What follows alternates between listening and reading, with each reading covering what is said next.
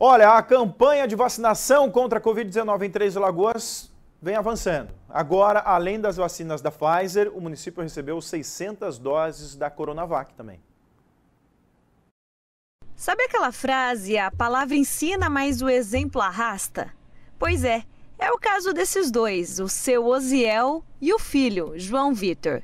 O barbeiro, que já tomou as três doses da vacina contra a Covid, também já levou o caçula para ser imunizado e encoraja outros pais. Eu acho necessário você dar a vacina. Nem, nem tanto é, a gente que é pai, a gente tem medo, né? Porque a gente não, a gente não conhece. Mas a gente, assim, tem que dar. Porque eu vejo que nós adultos já tomamos né, a vacina. Que todo cuidado com as nossas crianças é, é é tudo, porque é os bens que a gente tem maior na vida da gente aqui na Terra, que é os filhos. É verdade. Entendeu? E eu, eu falo para os, para os pais que às vezes tem medo né, de dar.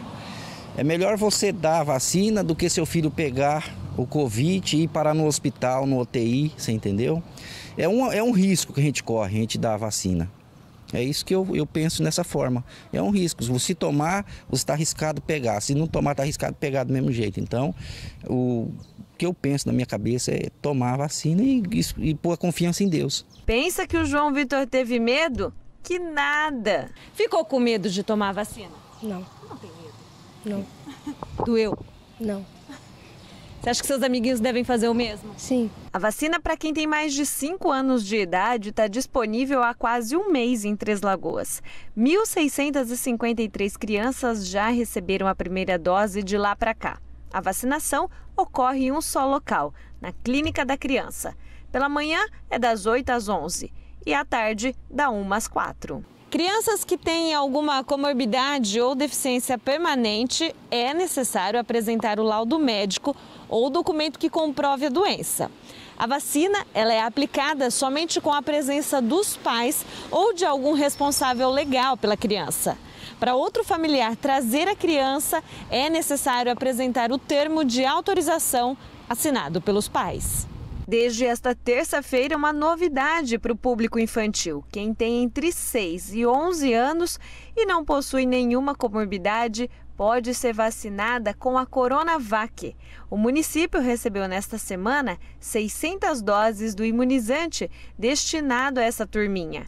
De acordo com o médico Vinícius Neves, tanto a Pfizer quanto a Coronavac são vacinas seguras e eficazes para a criançada. Vale a pena procurar, é, mais do que é, eles até verem a gente falar, a gente indicar as fontes, né?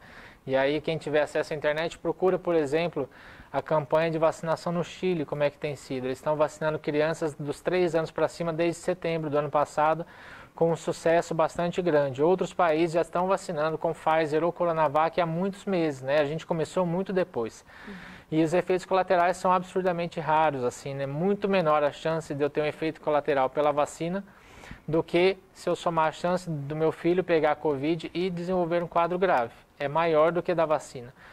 Então, a eficácia da vacina tem se mostrado muito, muito potente, tem diminuído muito a internação de crianças, tem ajudado a controlar a pandemia também, porque a gente precisa de mais gente vacinada para controlar. E você lembra do João?